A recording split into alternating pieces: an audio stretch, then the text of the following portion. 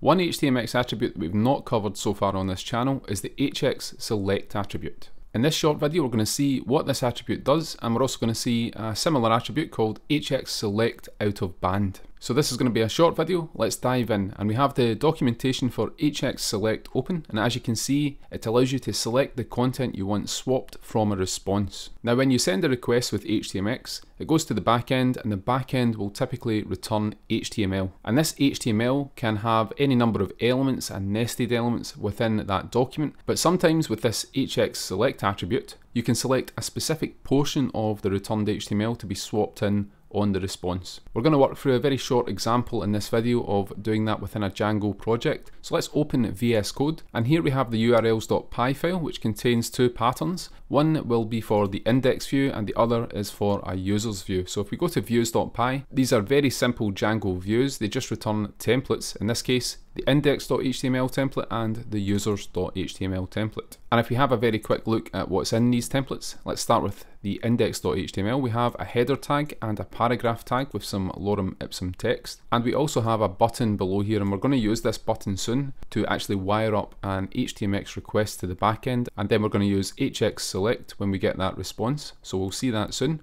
We also have a users.html and this contains a table that I've just copied from the Bootstrap documentation. And above the table we have a header 1 tag with the users and both of these templates they are extending a base.html template. So let's have a very quick look at that. And it contains two of these script tags or rather one script tag and a link tag. The script tag is loading up HTMX from a CDN and the link is the Bootstrap 5 CSS styles. And you can see also within the body, we have an include statement here in Django, an include template tag, and we're including a navbar.html that just contains two links to those pages. So that's the setup. Let's get started. And what we're going to do is go back to index.html and we're going to wire up an HTMX request on this button. But before we do that, I'm going to run the server and what we're going to do is have a look at the page as it is at the moment. So we have the page here. You can see the header and the lorem ipsum text. And below that we have the button that we're going to use with HTMX. So this is the home page. We can also click at the top here to the users page and you can see that very simple bootstrap table that is rendered on this page. Now if we go back to the home page, what I want to do in this home page, when we click this button here, I want to send a request and let's say we want to fetch all of the users that we have in this table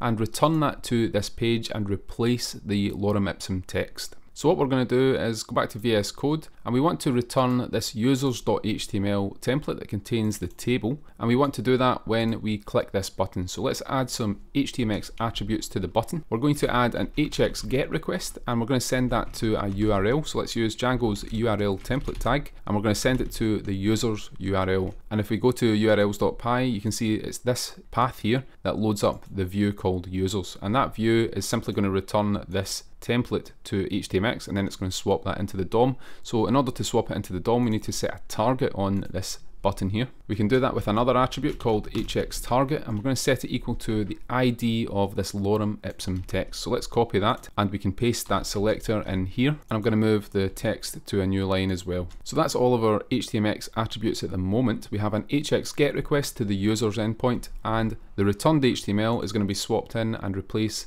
this target here, which is the lorem ipsum text. Let's save this, go back to the browser, and we're going to test out this button. So if we click fetch users, you can see we get back that HTML response, and it's swapped in and it replaces the lorem ipsum text. But we have a problem, of course, and that's that we also have a duplication of the navbar at the top. We don't want that. We want to just render the table that we have here. So how can we solve this when we're using HTMX and Django? Now one thing we can do if we go to users.html is we could take the table containing all of our users and we could break that out into a partial template and then just include that template in this HTML file and then when we get a request, an HTMX request to the user's endpoint, what we can do is return that partial instead and then that will swap that into the document. So that's one method. What you could also do is surround the table with a block. So for example, we could call this users table, and then you could use a library such as Django render block on the back end to only render the content of this block. And there's also another newer library that I'm going to do a video on soon called Django Template Partials, which is designed with this template fragment use case in mind. So those are two potential solutions. But if you don't want to use these libraries, these external libraries,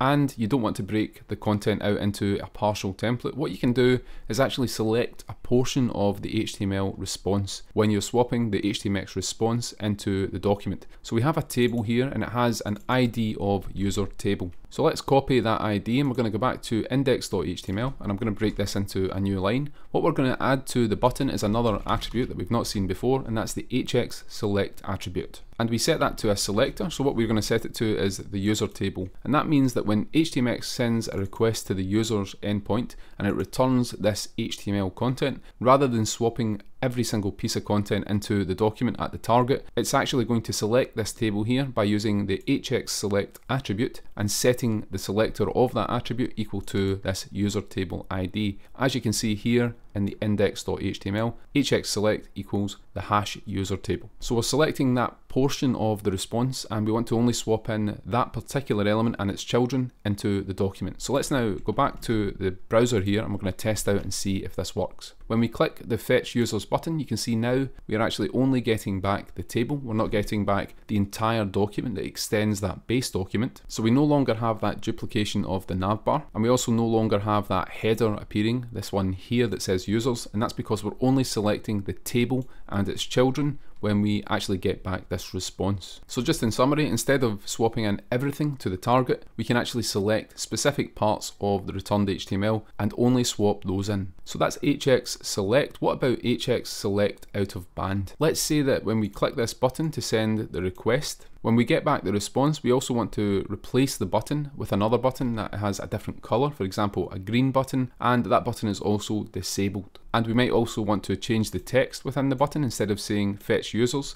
After we've went ahead and done that, we want to change the text to something else. What I'm going to do to start with is add an ID to this button. So let's call it fetch button. And the reason that we're giving it an ID here is because we want to perform an out of band swap when we return the content from the users.html template. So remember we're selecting only this table but below the table I'm going to add a duplication of that button. So let's now add the button so we can do that with a button element and we're going to give it the same ID, this is very important, as what we gave in the parent template and that's the fetch button ID.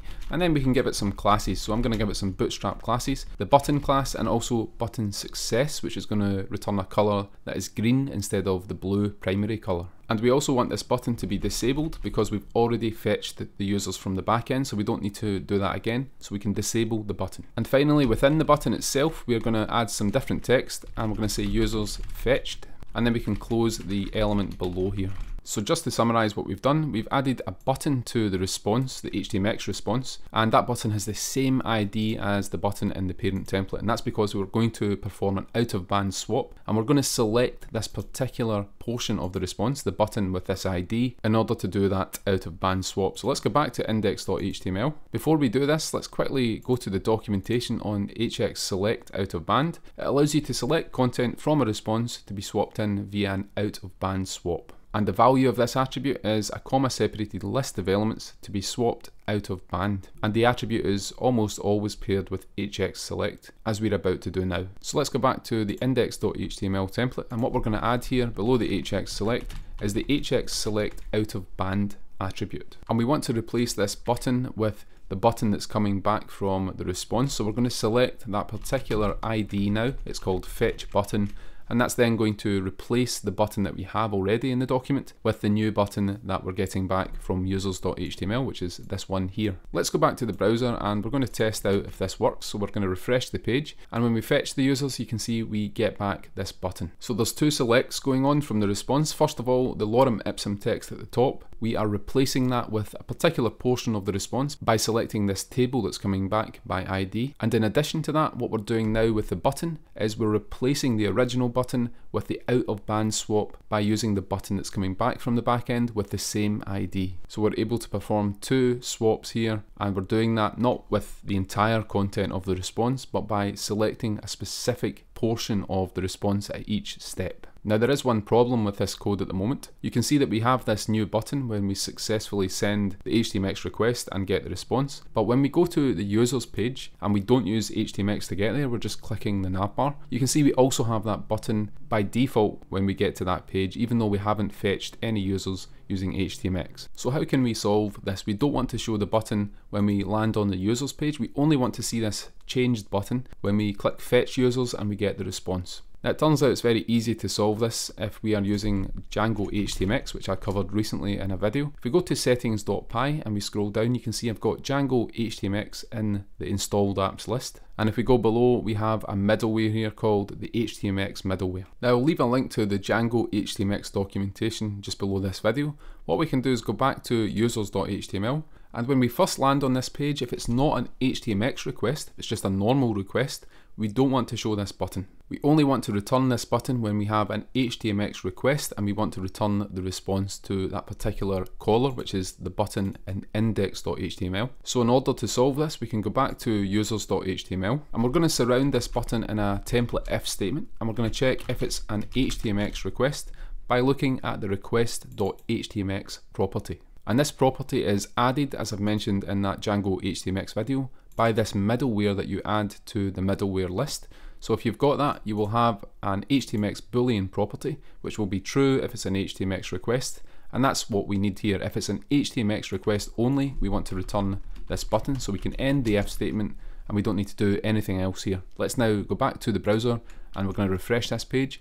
On the index page, when we click the button, we still get the correct response because it is an HTMX request, so the if statement is evaluating true and returning that button. And importantly, when we go to the users page, we don't get the button on this page because it's not shown if it's a normal request. So that's one way to deal with that, and that is all for this short video on the HX Select and HX Select out of band attributes. And if you're interested in any more short videos on these HTMX attributes, just let me know in the comments. If you've enjoyed the video, give it a thumbs up and subscribe to the channel, and we'll see you in the next video.